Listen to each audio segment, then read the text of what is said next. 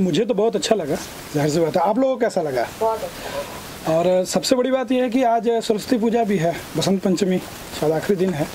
और इस समय हम लोग नाटक किया करते थे अपने धनबाद में या बिहार में। तो मेरे लिए दुगनी खुशी हो गई है कि आज के दिन मेरे फ़िल्म का पोस्टर का फ़र्स्ट लुक आया। ये मेरे लिए बहुत खुशी की बात है।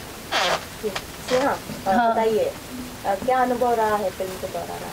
एक्चुअली इस मूवी में एक बहुत प्यारे से लड़की दिखाई हूँ जो मेरे बाजू में जो बैठे हैं उनके गर्लफ्रेंड मतलब मैं बहुत ज़्यादा उनसे प्यार करती हूँ बट ये कुछ मुझे वैल्यू ही नहीं देते। स्पेशली बोला जाए तो। वही सब मेरा एक कैरेक्टर है बहुत प्यारा सा। क्या ये आपकी पहली फ़िल्म है या इससे पहले भी आपने कोई फ़िल्म की है? नहीं मैंने पहले मराठी मूवीज़ की है देहांत और सत्य विजय और उसके अलावा जी म्यूज़िक एल्बम्स की है। और बस अभी शुरुआत है। हिंदी मूवी बॉलीवुड से।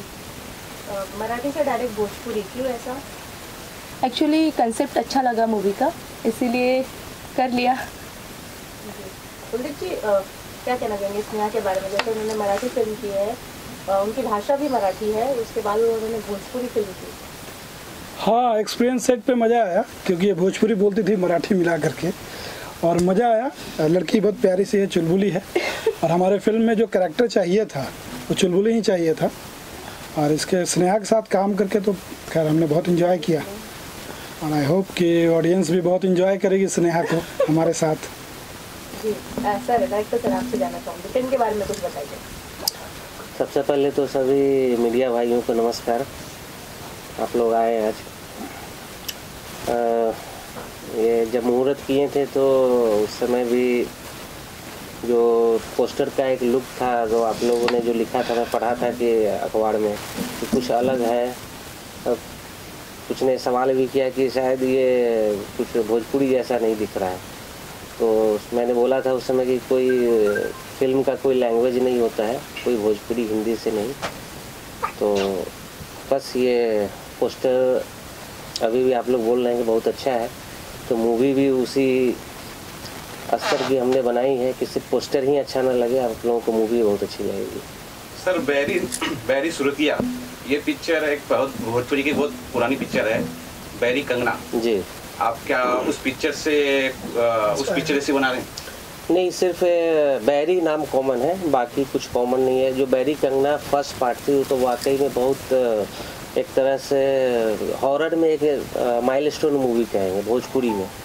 क्योंकि उस समय मैं वो मूवी मैंने देखा है, शायद 1991 92 की वो मूवी है।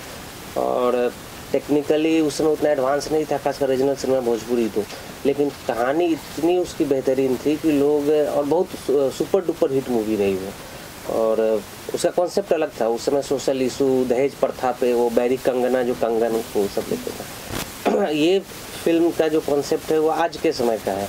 कि आज के समय में जो जो सोशल इशूज हैं ये सिर्फ़ सुपर नेचुरल सिर्फ़ यूँ ही नहीं कि चलो मैंने कुछ इमेजिनेशन स्टोरी बनाई और सुपर नेचुरल नहीं एकदम रियलिस्टिक स्टोरी है जो अभी जो स्पेशली नॉर्थ में हमारे यूपी बिहार में जो इस तरह के इंसिडेंट बहुत होते हैं।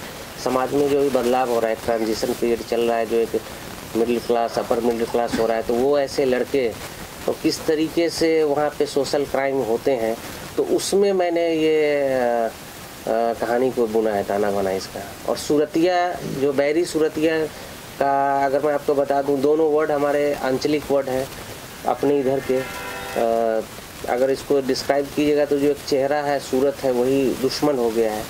तो टाइटल से कहानी का थीम पता चलेगा। इस फ़िल्म में कितने सिचुएशन सॉन्ग है और कितने आइटम सॉन्ग्स हैं? छः सॉन्ग्स हैं। सारे सिचुएशन ही बोलूँगा। आइटम मैं किसी को नहीं बोलूँगा। जो एक डिस्को सॉन्ग है वो भी हमारे सिचुएशनल ही है। स्पेशली प्लांटेड नहीं है कि वो हाँ आइटम में तब बोलता है जब कहानी से कोई मतलब नहीं रहता। वो भी एक हमारा स्टोरी का पार्ट है। और सारे सॉन्ग हर जॉनर के हैं मेलोडी हैं एक डिस्को सॉन्ग है आपको इसमें आप सैड उस तरह के, क्योंकि कहानी का कुछ अलग थ्रिलर मूवी है तो बहुत ज़्यादा इसमें सैड पार्ट नहीं है ऑडियंस को बहुत ही एक इंजॉय आप इस मूवी से करेंगे थ्रिलर मूवी का अपना एक मज़ा होता है कि एक थ्रू आउट आप उसमें इन्वॉल्व रहते हैं।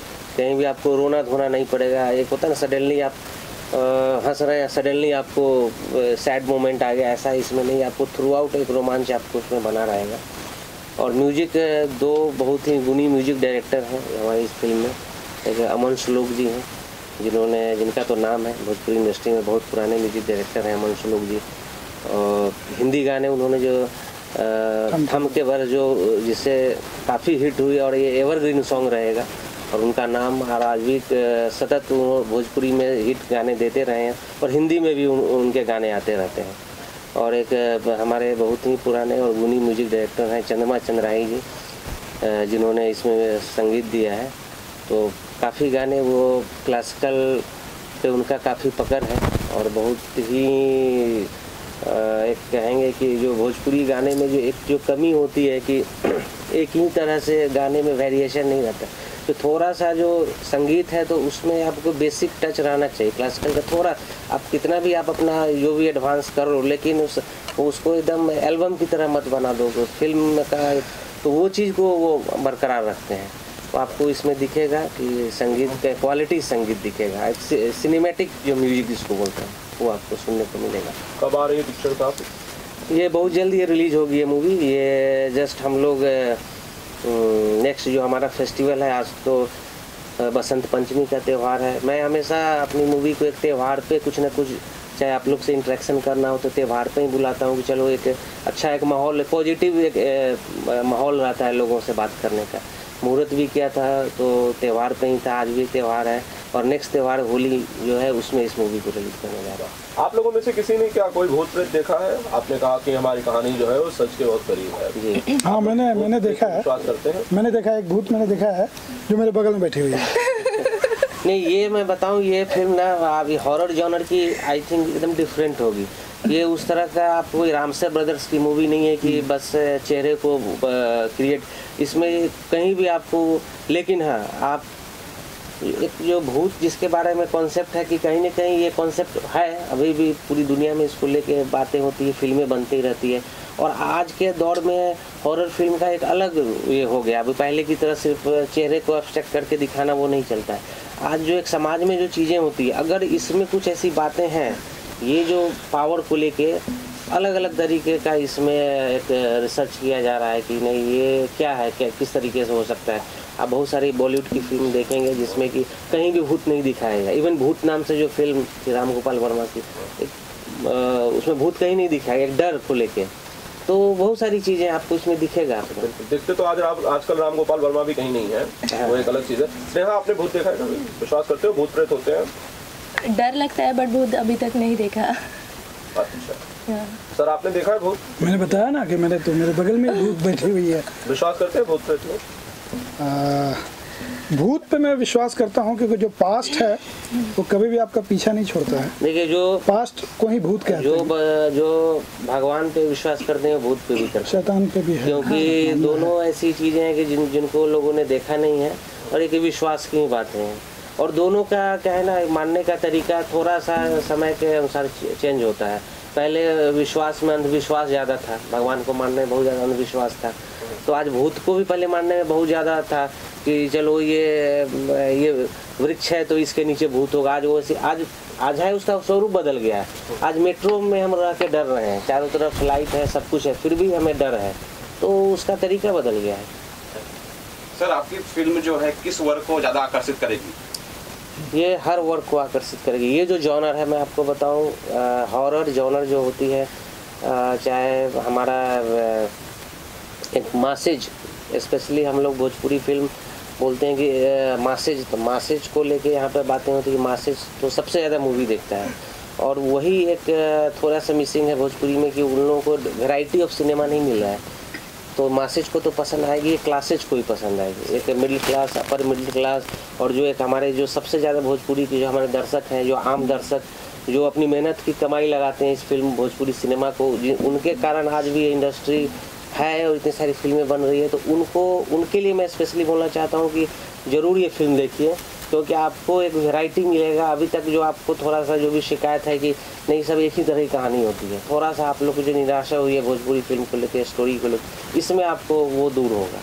आपको कोई इसमें ये अर्बन सेमी अर्बन रूरल हर तरह के ऑडियंस को ये मूवी अच्छी लगेगी। थैंक यू सो मच बताइए जरा आपको कौन सा गाना सबसे पसंद आया? सबसे पहले अमन श्लोक का प्रणाम। आप लोगों को बसंत पंचमी का आज बड़ा ही पावन त्यौहार है और आप तमाम मीडिया बंधु जो इस इवेंट को कवरेज करने के लिए आए, सबका शानदार इस्तकबाल स्वागत करता हूँ। बैरी सूरतिया फ़िल्म जिस दिन से हमने इस पर काम शुरू किया और जब मुझे डायरेक्टर सुनील जी और कुलदीप जी ने मुझसे संपर्क किया, तभी मैं, मुझे बहुत ही बेहतरीन स्टोरी लगी शुरू में ही। और मुझे लगा कि इसमें बहुत कुछ स्कोप है जो भोजपुरी में अमूमन होता नहीं है। और अलग ही स्टोरी, एकदम अलग सा सिचुएशन और लगभग डेढ़ से दो महीने हम लोग इस म्यूज़िक पे वर्क किए और निश्चित रूप से एक यूथ को अट्रैक्ट करता हुआ एक बड़ा ही अच्छा सा गाना हमने रेडी किया है। और हमारे अज़ीज़ दोस्त और हमारे सीनियर हैं, हमारे बड़े भाई हैं, चंद्रमा चंद्राही जी। मैं उनका भी ये आदर पूर्वक ये कहना चाहता हूँ, उन्होंने भी इस फ़िल्म में म्यूज़िक दिया है और मुझे किसी से प्रतिस्पर्धा ज़रा भी नहीं होती। मुझे लगता है कि सिनेमा बढ़िया बनना चाहिए, अच्छे संगीत ज़रूरी है तो तभी भोजपुरी का विकास हो सकेगा। मैं भी चाहता हूँ कि भोजपुरी फ़िल्म भी, फ़िल्म फेस्टिवल में जाए, भोजपुरी फ़िल्में भी नेटफ्लिक्स से जुड़े बड़ा पैमाना से हो और मेरी कोशिश ये रहती कि कुछ डिफरेंट करूँ फ्रेश करूँ हर हमेशा कुछ नया करने की कोशिश करता हूँ। जी। आज तक मुझे कोई एक आदमी नहीं मिला जिसने कहा कि भोजपुरी सिनेमा आगे ना बढ़े या उसके उत्थान के लिए उसे आगे बढ़ाने के लिए मैं कोई कोशिश नहीं कर रहा हूँ। सारी कोशिशों के बाद फिर रंग क्यों नहीं ला रही है मैं उसके पीछे कारण ये है कि सिर्फ़ अकेला कोई एक आदमी मैं नहीं कर सकता। अब इसमें जैसे हमारे डायरेक्टर सुनील जी ने इसमें प्रयास किया कि एक अलग स्टोरी भले वो रिस्क इसमें हो बहुत मसालेदार फ़िल्म ना हो तो इसमें निश्चित रूप से किसी के अंदर एक ठोस डिसीज़न लेने वाला कोई एक आदमी होना चाहिए और सब पूरी टीम अगर चाहे तो निश्चित रूप से बड़े कैनवास पे फ़िल्म भोजपुरी की बन सकती है, फ़िल्म फेस्टिवल में जा सकती है, राष्ट्रीय पुरस्कार मिल सकता है। इसमें सिर्फ़ मैं अकेले संगीतकार के चाहने से नहीं हो सकता ये काम। स्टोरी से शुरू होगा और प्रोड्यूसर की ज़रूरत है, ऐसे प्रोड्यूसर जो इस इस फ़िल्म में कुछ, अपना एक काबिल तारीफ़, कुछ कंसेप्ट पे काम कर सकें। मैं जी का नाम लेना चाहते हैं? महेश उपाध्याय जी बहुत मेरे अज़ीज़ दोस्त हैं और लगभग 15-17 साल से मैं उनको जानता हूँ। और उनकी सबसे बड़ी विशेषता ये है कि पैसा वो बड़े समय पे दिलवाते हैं प्रोड्यूसर से। और बहुत मेहनती हैं। मैं ऑन कैमरा ये कह रहा हूँ तो ऑफ़ कैमरा भी बोलता हूँ कि बहुत मेहनती हैं।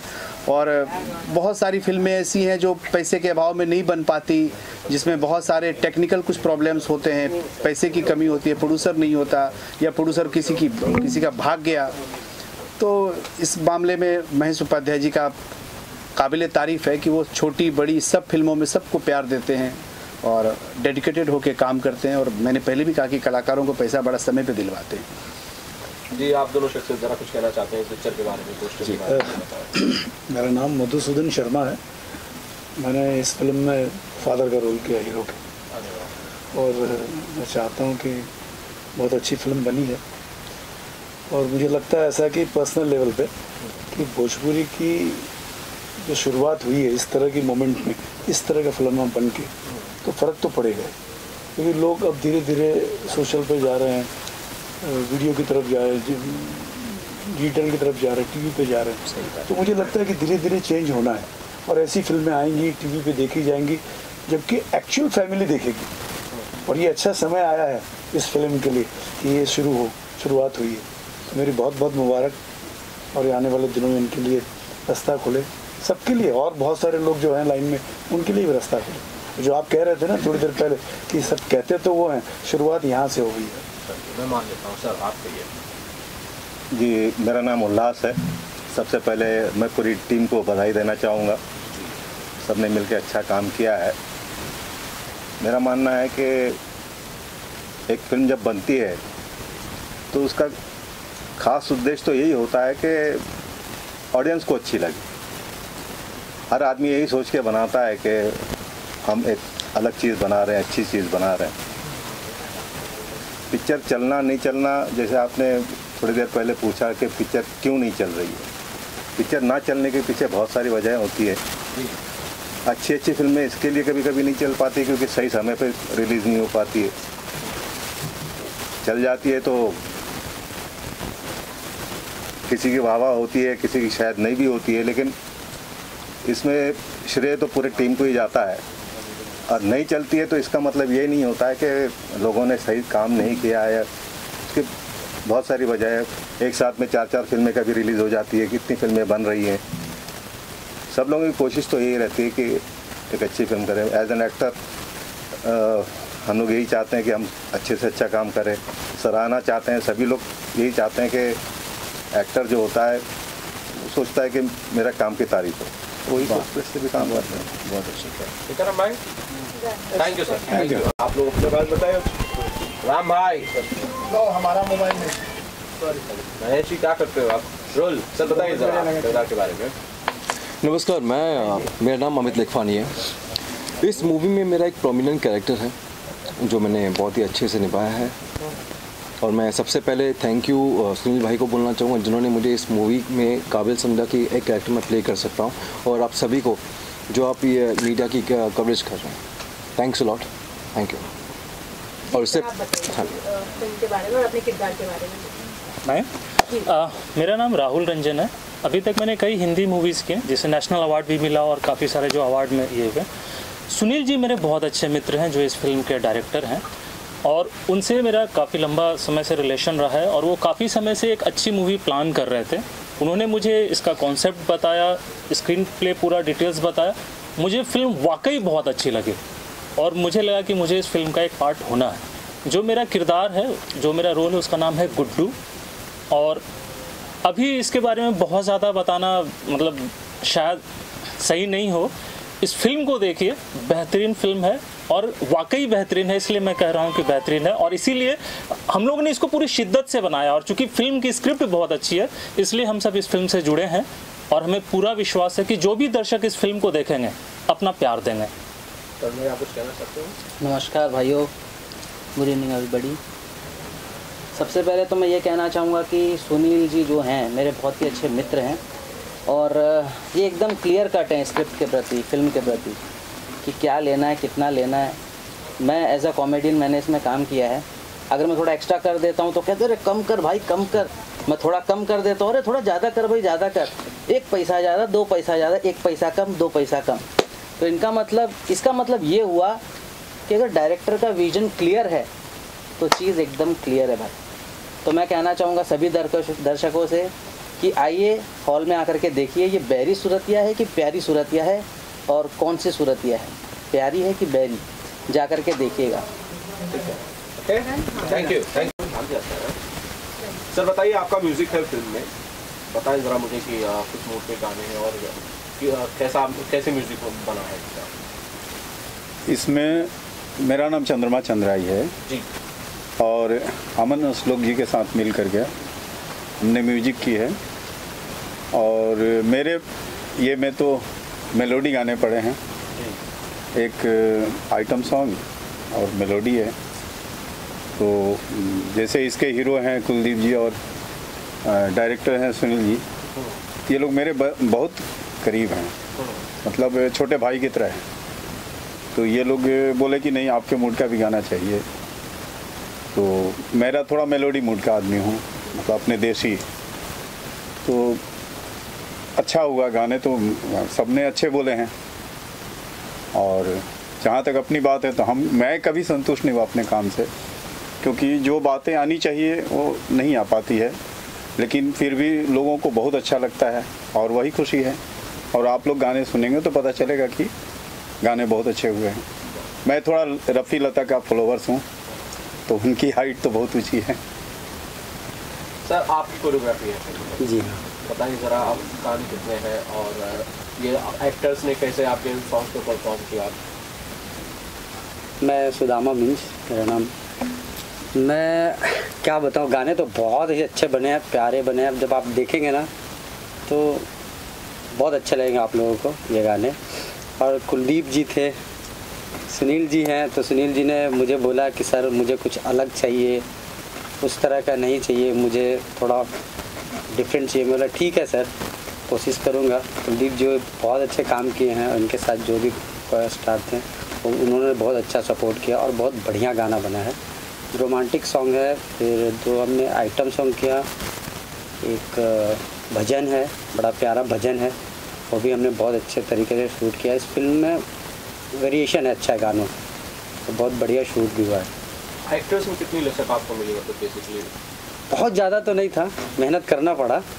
बहुत ज़्यादा नहीं था मेहनत करना पड़ा। मतलब जो मैं सोचता हूँ उतना नहीं था बट ठीक था।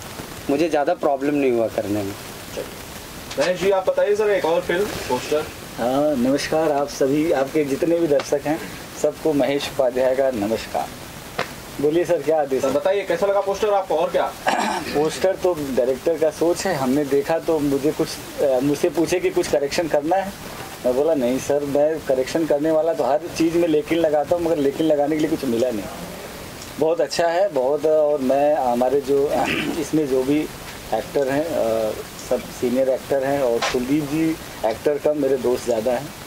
सुनील जी डायरेक्टर ज़रूर हैं, मेरे दोस्त हैं। मैं इतने सालों से आप लोग से हूँ साथ में काम कर रहे हैं। बस प्रकाश जी आ नहीं पाए प्रकाश जय जी बहुत अच्छे रोल में हैं। और एक तो मुझे लग रहा है कि मैंने भोजपुरी में नहीं ज़्यादा कम हंड्रेड फ़िल्मों से ज़्यादा कर चुका होगा उसमें एक फ़िल्म ये भी है और मुझे करने में मज़ा आया जब सुनील सर ने मुझे बोला कि महेश जी एक मेरी फ़िल्म है आपको करना है। तो फ़िल्म तो इस फ़िल्म के लिए आप, आप लोगों के आशीर्वाद से बहुत कम ही फ़िल्मों में मैं पे रह पाता। मगर इसमें साथ मेरा क्योंकि करने का मज़ा एक नया फ़िल्म था।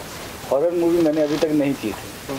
मगर ये भोजपुरी में हॉरर कम एकदम मस्त पिक्चर है। देखने लायक है लोग देखेंगे उनको अच्छा लगेगा।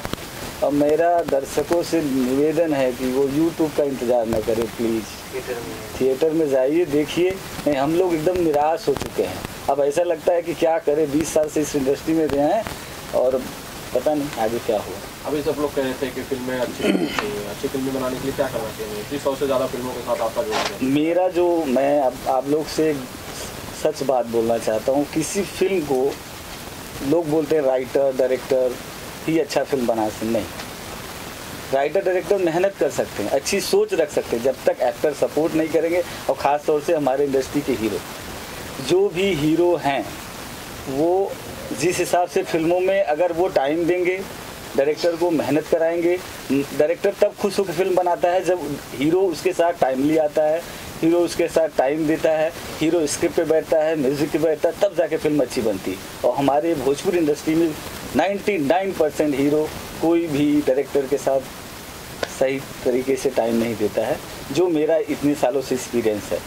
जो टाइम देते हैं वो अच्छी फ़िल्म बनती है वो अच्छी चलती है और जिस वजह से शायद दर्शक दूर होते जा रहे हैं। आपने जो अभी फ़िल्म बनाई थी आप अपनी अपना अनुभव ही बता दीजिए। मेरा अपना भी मैंने मंदिर वहीं बनाएँगे फ़िल्म बनाया था और रिलीज़ भी किया। मेरा बहुत अच्छा एक्सपीरियंस नहीं रहा। फ़िल्म तो मैंने दिल से बनाया अच्छा बनाया मगर हमारी लागत तो हमें नहीं मिली ये सच बात है कोई मीडिया में बोलता नहीं मैं सच बोल रहा हूँ कि मेरी फ़िल्म में मेरा जो पैसा लगा मैं रिकवर नहीं कर पाया इसलिए मैं अपनी फ़िल्म को फ्लॉप मानता हूँ। अगर एक प्रोड्यूसर का पैसा नहीं निकलता वो फ़िल्म फ्लॉप इसमें आपके आर्टिस्ट कौन कौन थे?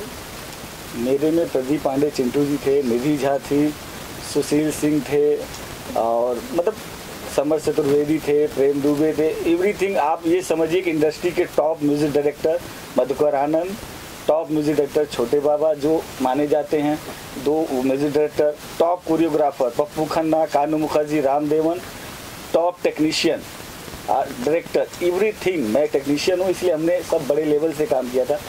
अच्छी पिक्चर बहुत अच्छी, शायद इस समय समय अच्छा नहीं था, जब मैंने रिलीज़ किया, फरवरी, आठ फरवरी को रिलीज़ किया था।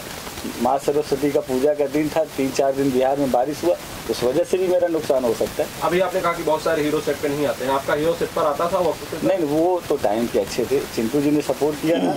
मगर मेरे कहने का मतलब जो लोगों के प्राइज है जो प्राइज मांगते वो प्राइज के हीरो कोई नहीं जितना हमारे भले आज मेरे सब नाराज़ हो जाएँगे और सब हर हीरो के साथ मैं काम किया हूँ।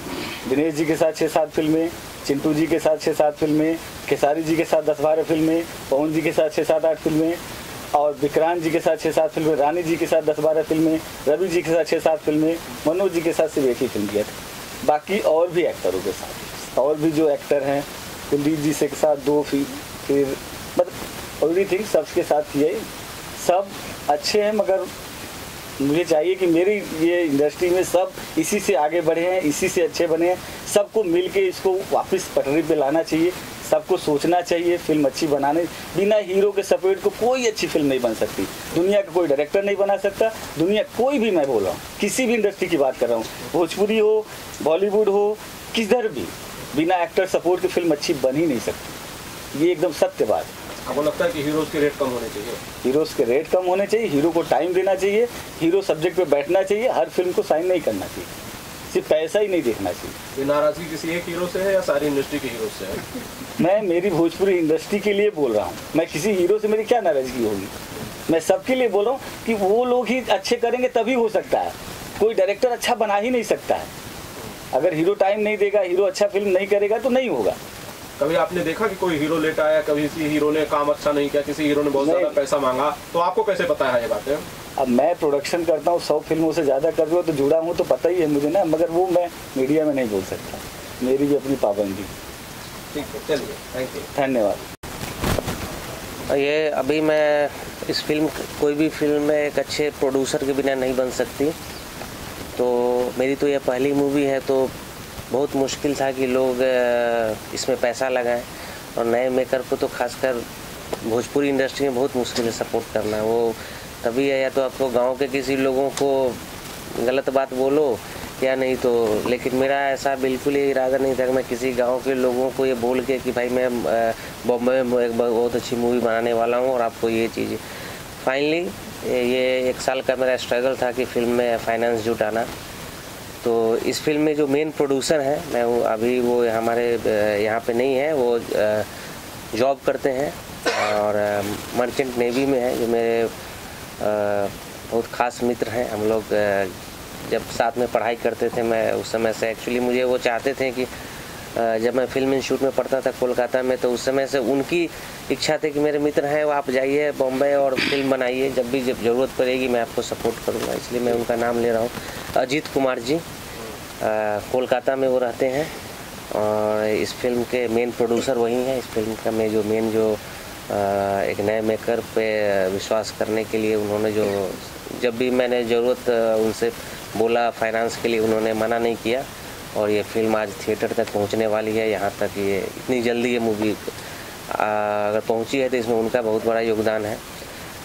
साथ में ये रविंद्र कुमार जी हैं, इस फ़िल्म के को प्रोड्यूसर ये इन्होंने ऑलरेडी एक मूवी प्रोड्यूस की है बेटा होके तैसन जिसके कि main lead hero Kuldeep ji ही हैं।